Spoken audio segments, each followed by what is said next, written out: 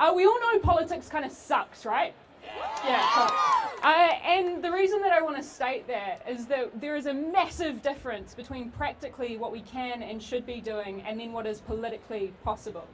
Uh, and the thing that frustrates me the most is that when politicians behave like they have been doing and refusing to engage uh, in the conversation around declaring this climate emergency and the action plan that has to occur subsequently, is that they turn off the kinds of people who are standing here demanding for that climate emergency.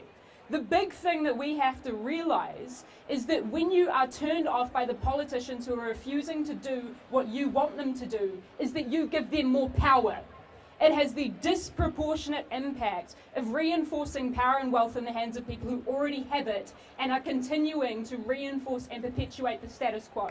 So, so frequently I'm asked by people, you know, what do we do? What do we do? What do we do to change things? The major thing is, like, just don't be silent. Don't be complicit.